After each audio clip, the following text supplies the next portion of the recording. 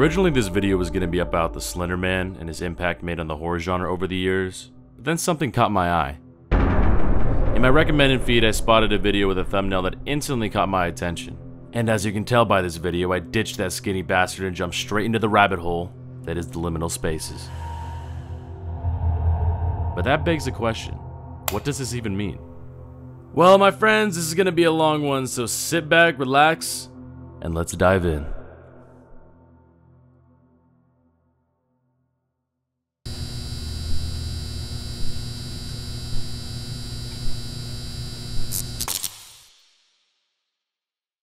Of relating to or situated at a sensory threshold, barely perceptible or capable of eliciting a response, of relating to or being an intermediate state, phase, or condition. From all the information I've accumulated for these definitions and various others combined with the images you see now, the best overall way I could describe the word liminal space and what it means as a whole is as follows. A location that secretes an uncertain feeling, whether that be fear, joy, or confusion, straight into your mind. A million thoughts will race across your brain as you stare deeply into these pictures of seemingly random ass locations. Now, of course, once you spend the countless hours like I have binging all these videos, you start to notice some trends in familiar locations. You get the occasional Target, shopping mall, a school, etc. So if a good chunk is familiar like a local superstore, then why the strange unease? Why does it feel like I've glitched through the matrix and no clipped straight into the back rooms of hell? Let's dive deeper.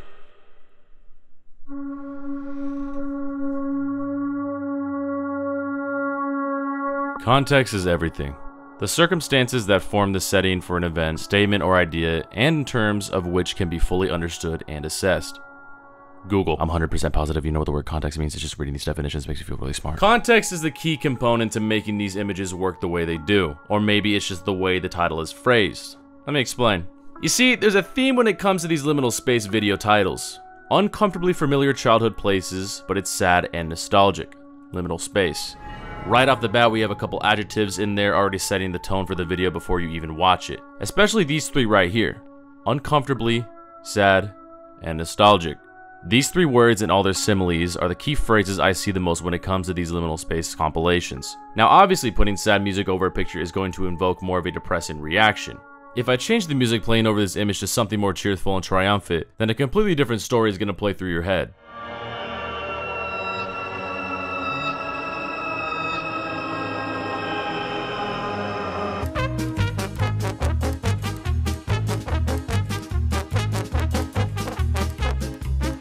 What I'm saying here is that these added words and sounds add heavily to heighten the feeling you're already going to have with these pictures. They invoke something we as all humans have, nostalgic memories, whether on the more cheerful side or macabre.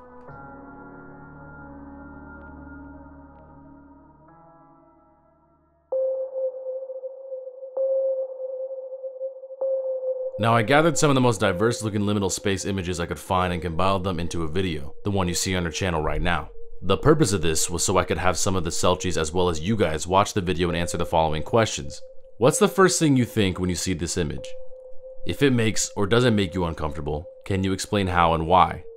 Here were some of the responses I got.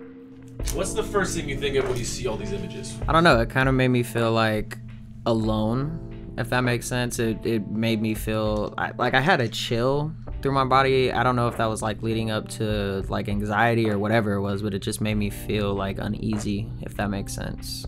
Like kind of creeped out, you know? Okay, can you explain why? Like, why do you think it made you feel like that? I don't know. Maybe it was like the lack of. I don't know, the lack of like presence, if that makes sense. Like there was nobody really there to like make me feel less uneasy. Like I like there was a picture of a mall in there. I don't know how I would like feel being in a mall all by myself. And out of nowhere I hear something. you know what I mean? Like that would just be terrifying. I don't know. And not gonna lie, when I first posted the video, I was a little disappointed with some of the responses because. Uh, let's just say uh, they, they, were a little interesting. Smashing on some barbecue chicken, mac and cheese, sweet potatoes, and cornbread. What y'all do? But as the next couple days passed by, we got some really, really good responses. So I'm just gonna go ahead and share basically every single one of them. Enjoy.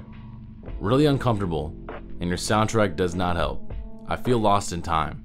Like, where has everyone gone? I feel very, very, very unsettled. I'm a real estate photographer, and as the name implies, spend most of my time in empty houses. I was shooting a video for an empty office floor one day, and I got the same feeling then as I do from this video. Feel nothing. Oh, the back rooms. Nice. Just remember, people, watch your steps so you don't no clip out of reality. I would feel comfortable if there wasn't an eerie soundtrack playing. It's so strange. The place at 7 seconds is literally from a dream I had. It's like you had taken a snapshot from my dream. I had a dream about that place way before liminal spaces was a big thing. It's the backrooms in picture form aligned with horror ambiance. How should I feel? I feel like making a backrooms map in Minecraft of shit. Gen Zers are dead ass scared of empty hallways now. alone, alone, alone, alone. For some pictures like the empty malls and abandoned houses slash stores, I thought of a pandemic world like the COVID outbreak. Empty and almost dead. But the empty offices and hallways, I don't know what to say. They're eerie and quiet.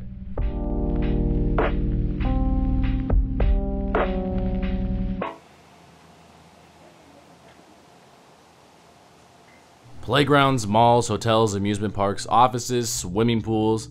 These are all locations you would usually experience as a child, whether on vacations, field trips, trips to your parents' jobs. That's what I was hit with the first time I gazed into these pictures. The quality seems awful for about 90% of them, but I don't think it's a detriment to the feeling these liminal space pics are trying to get across to you. They remind me of old shitty photos my family would have taken at a family reunion or something like that. That innocent childlike wonder of experiencing the world and finally realizing how big it is compared to you. To a kid, an empty hotel may seem like an endless maze of hallways and doors. An empty office gives off the instant impression of abandonment and desertion. A house in the middle of a windows looking background is seemingly in pure isolation, an unknown amount of miles away from other people. Autophobia or monophobia makes you feel extremely anxious when you're alone. This fear of being alone can affect your relationships, social life, and career. You may also have a fear of abandonment that stems from a traumatic childhood experience. And what better way to make you feel this isolation than a picture of an empty mall? A place known for its hundreds of stores, restaurants, and of course, people. You take the people out of the mall, what is its purpose anymore? What is the purpose of a playground completely devoid of children? What makes these pictures truly offsetting is the fact that they're all places where people should be, usually in abundance too. Once you remove the crowds, all you're left with is a vessel completely devoid of reason, of purpose.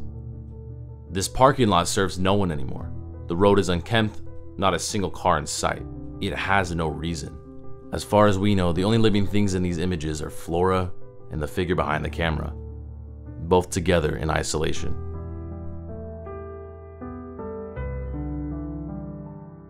Thank you guys so much for watching. That was my dark dive on liminal spaces and the backroom kind of thing. I was gonna have backroom be a segment in this episode, but I decided that's just a whole other topic by itself. So if you want to see a Backrooms Dark Dive, let me know in the comments down below. And if you want to see a Slenderman Dark Dive too. I know I was kind of giving him a little bit of shit in the beginning, but I was actually really excited for a Slenderman one, but I just stumbled upon these liminal space videos, literally in my YouTube recommendation feed, like I said in the video. And it just sent me down this big ass rabbit hole, autophobia, the empty parking lot pictures and stuff. And it's just, it's kind of crazy how something as simple as an empty playground can stem so deeply into our mind with a bunch of interesting like childhood trauma or the fear of being alone and just isolation. It's just, it's really interesting to me. So I hope you guys found it really interesting too. And thank you for everyone who commented, even the funny comments too. I had a good laugh at. So I really appreciate that. If you have any other suggestions for dark dives, leave them in the comments down below. And as always, everyone, have a good one.